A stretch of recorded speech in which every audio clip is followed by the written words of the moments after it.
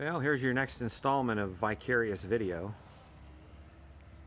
We are, we did a 30 kilometer motorbike trip, Jerry and I, where we uh, rented a couple of little motorbikes, 30 kilometers, to get up to this vantage point here.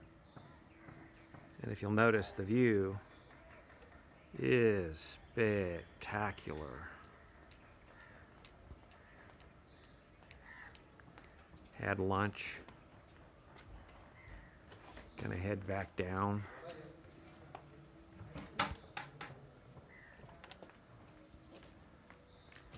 You can see the terraces, almost reminiscent of uh, Peru.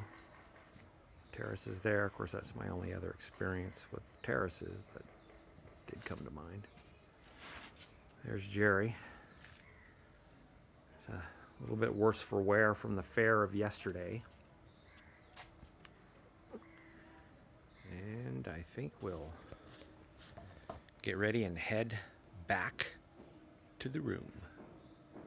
It should take us about an hour and a half down the hill.